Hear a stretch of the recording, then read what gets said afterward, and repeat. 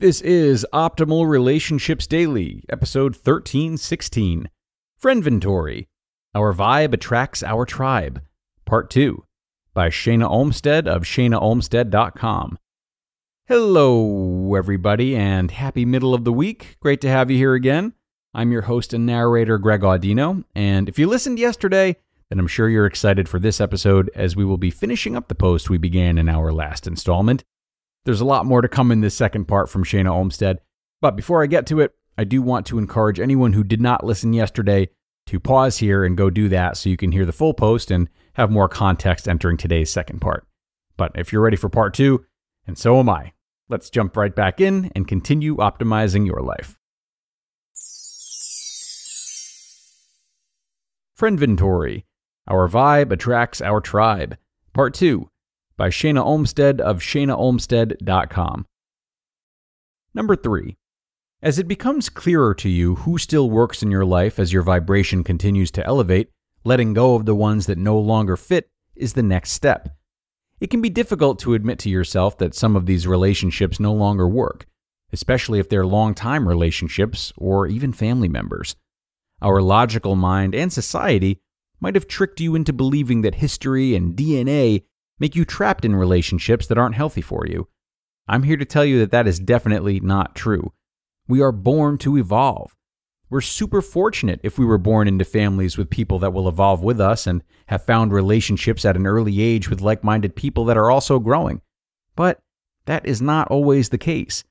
Often we have relationships that are well suited for us at the time and help us become more conscious, but we eventually outgrow them and need new people at our new level of awareness.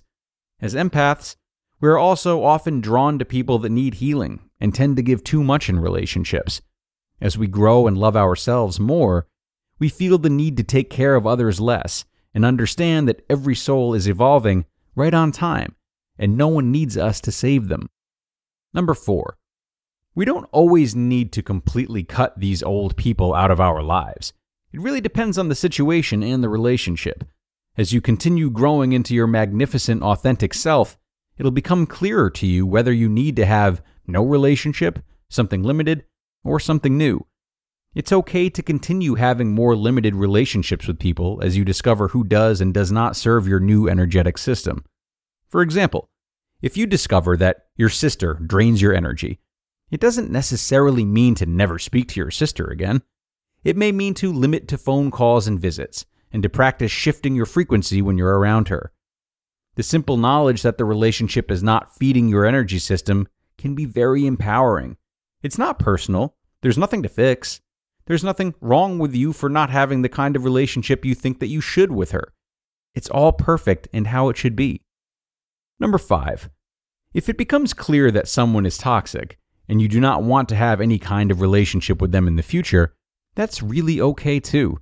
You can have a conversation with them and let them know that the relationship is no longer working for you and you need some space. Sometimes on people's paths of evolution, they've never been told that there's something wrong or that boundaries need to be set. You having the courage to be truthful in the relationship is really a blessing for both of you. You, as an empath, get to work on practicing assertive communication and setting boundaries, which is why this person was sent to you in the first place. The other person gets to learn how to be more compassionate and that their behavior is not acceptable to you. This could help plant a seed for this lifetime or in the future. We're all evolving towards more compassion, and thank goodness you can be an enlightening teacher of love for this person. Number six, as you become more clear on the relationships in your life and begin shifting ones that don't serve you, you're clearing the path for the new, more like minded people to come in. You have learned so much through the Friendventory process about your energy system, what works for you and what doesn't, and how to connect your inner truth about the people in your life that it'll be so much easier in the future to find people that are more right for you in this stage of your evolution.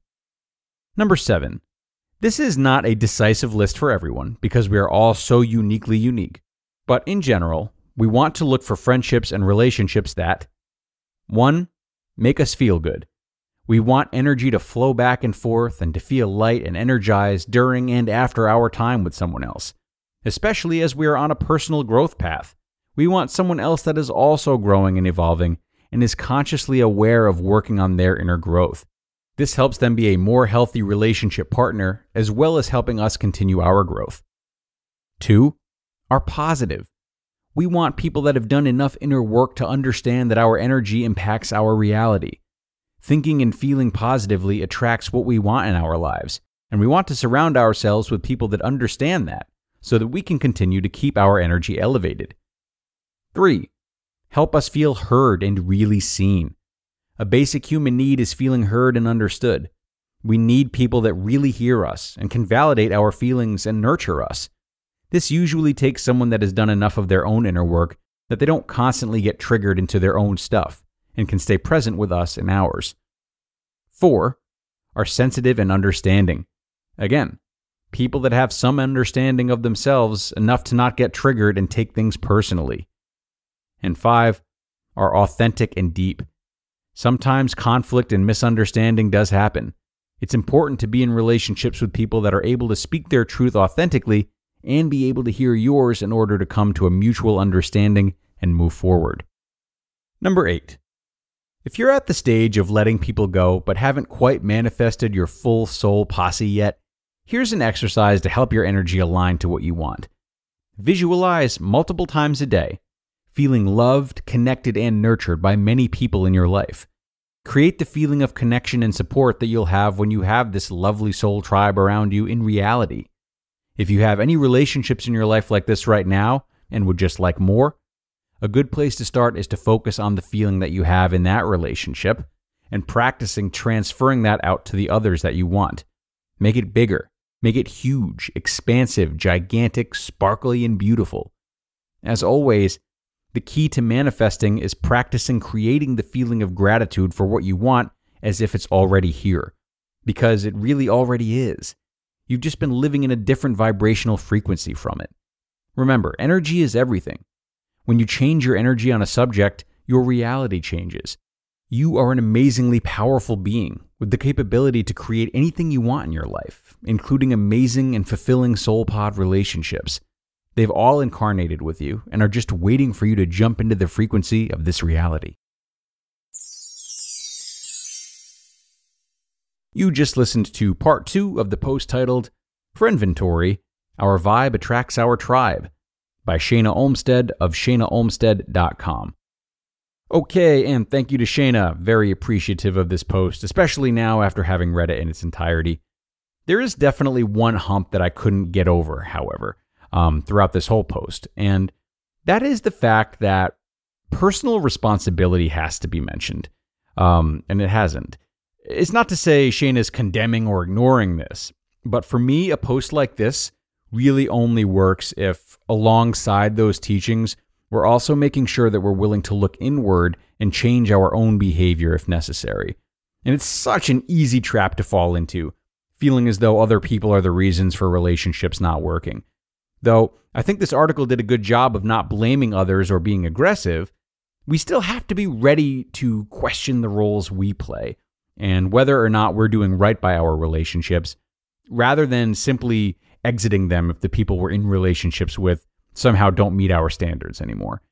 If you make a habit of doing that and never considering the ways in which you might be the quote unquote toxic person in question, you're likely to banish a lot of good people from your life, not to mention stunt your own personal growth. So, word to the wise, my friends Time to wrap up, though. I thank you again for listening to both parts, and I thank Shana again for sharing.